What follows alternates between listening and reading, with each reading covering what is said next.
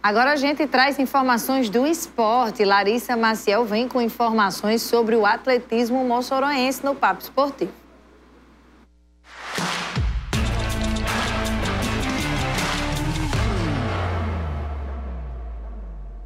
Quem vê a gente aqui na calçada do Nogueirão imagina que o assunto do papo esportivo de hoje é futebol.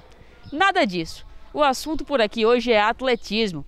Nas segundas, quartas e sextas-feiras, aqui no estádio Nogueirão, tem uma equipe de atletismo se preocupando com as próximas competições.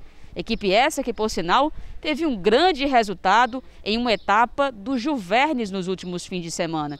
Dessa vez, na categoria sub-15, com o atleta Tércio Fabiano se destacando e conseguindo o primeiro lugar no salto à distância.